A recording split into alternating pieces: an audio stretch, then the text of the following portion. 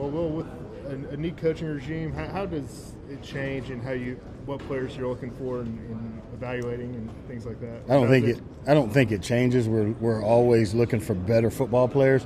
There might be some tweaks on things that we're looking for, but at the end of the day, as Jerry said the other day, we organizationally set the the standard for what we're looking for player wise, and we got coaches that will be able to put him in the right spot. What did you think when they you found out Mike McCarthy was in fact going to be the guy? Um, there was sadness at first because we spent a bunch of time with those coaches that are there. It's a cutthroat business, and that's the way it is. And value those guys, but now it's another opportunity for us to grow. We've been doing the same things for a long time, and, and, and now we have an opportunity to continue to grow and hopefully get better. I think the thing people are curious about, though, is I get. I mean, you're still looking for good players, but this, these new coaches are going to have different ideas of what they want to do with, with their football team type of players they need? Absolutely, but at the end of the day, we're going to stay within the same scheme, um, and we're going to do things a little bit different. So our job is to go and evaluate all the players. They might want bigger interior players, so that's fine. We'll go and look for that. Um, but I think we're going to be looking for the same type players. Is it pretty daunting when you look at all of the impending free agents on the defensive side of the ball and how it pieced together this this offseason? Every year is a challenge when you go through that. You know, that's the way the NFL is made. You got the salary cap. You can't keep everybody. So we go through and find out what's valuable for us, uh, who will fit within our parameters, and then we want to try and fill the holes in free agency and draft free. What's Byron, what's Byron's value? Uh, he's a starting caliber, you know, NFL corner. He's a really good player, and we have to figure out his financial value and if it fits for us. How does the new coaching staff factor into existing personnel, whether it's Byron, whether it's somebody else, just sitting down with them and getting a feel for how they feel about these guys? I think it's it's it's always good to get an outside, you know, and they weren't with us and didn't know how we did things, so to get their opinion on our players and match it with our pro department and what we think of them, and then you know how they can use guys. So we've got to understand, you know, how they want to use guys and the value of different positions. It, some of that changes. Y'all have reiterated throughout that Dak is your long-term quarterback answer, but he doesn't have a contract yet or an extension for you, what does that mean in terms of your evaluations and how you're planning for 2020?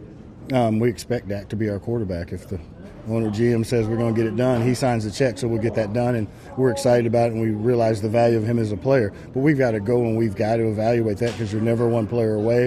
You know, we want to improve the position at all points, and so we'll look at that throughout the draft process. What do you remember most about him? Four years ago, he was here.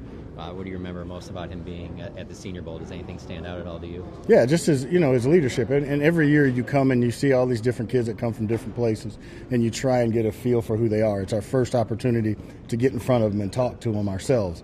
But when we were on the field with him, there was this guy that was always leading his group, and it just showed when you know when he was with us, but um, the way that he competed in this game showed you a lot about him.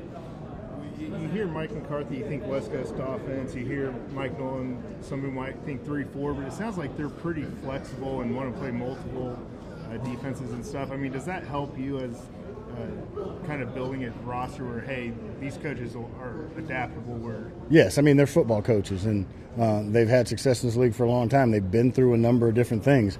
They have the things that they like, and um, so it is exciting to say that we have systems. We feel like that you can take players, and both of them have said, "We'll find if you got a good player, we'll find what we can do with them within our scheme."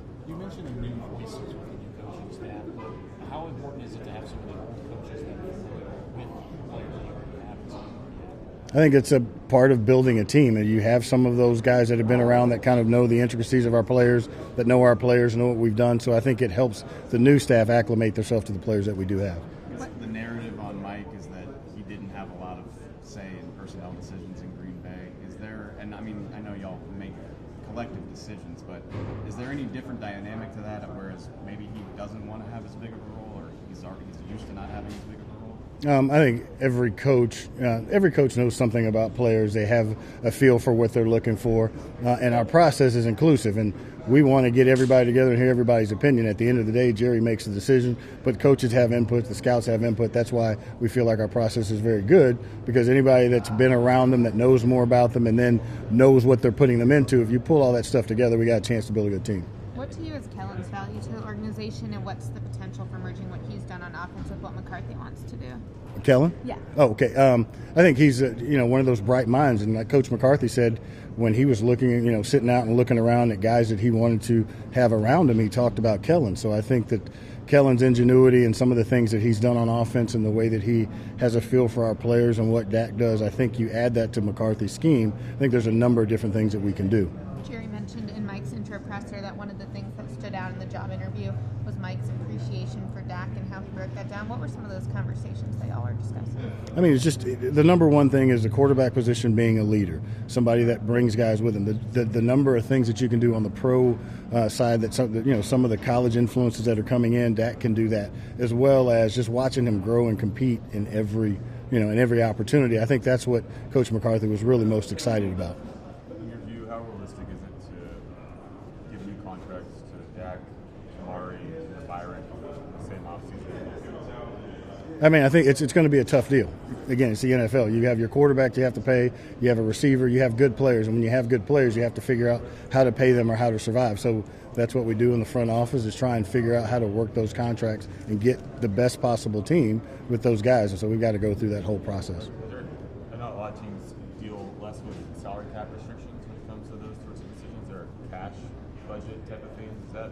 Something that you guys have to factor here? Or is it probably less so here than maybe other places? I think it's less so here the whole cash thing. I mean, it's we all have to manage the cap and how we do that. That's the biggest issue. Jerry was saying, and Stephen said they felt the roster was talented enough that y'all had built a roster talent enough to contend for a Super Bowl. How disappointing was last year for you guys?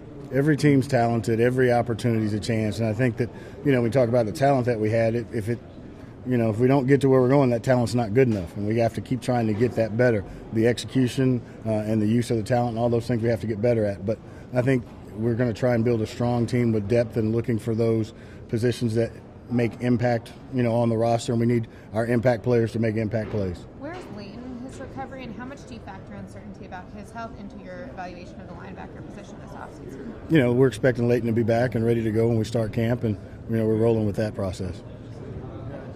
Guys like Sean Lee and Jason Witten, how do you value their leadership, but also probably guys want some young, fresh blood too? Yeah, I mean, leadership is key. Um, you know, finding those guys that can help transition and they have that, you know, they, those guys have things that, talking to this coaching staff, that they value as the leadership, their understanding of the game, all those things. Uh, you just have to make the decisions, and the players have to make the decisions as to where they want to be and all that stuff. But you always want good football players on your team. The numbers don't really do DeMarcus justice in terms of his game by game impact this past season. You have a lot of other defensive linemen. well, He's obviously under contract, but others are, are not. Uh, what do you think this defensive line needs in order for it to reach that next level?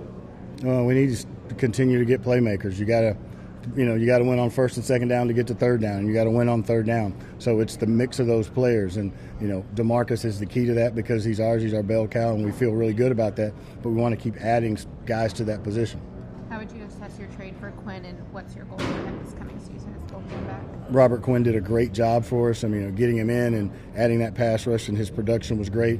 And you know, he learned from Marinelli and kind of fit into the group. Um, but every year it's a challenge. I don't know what's out there right now and what we can do, but we're going to evaluate all and find a way to put the team together the best that we can.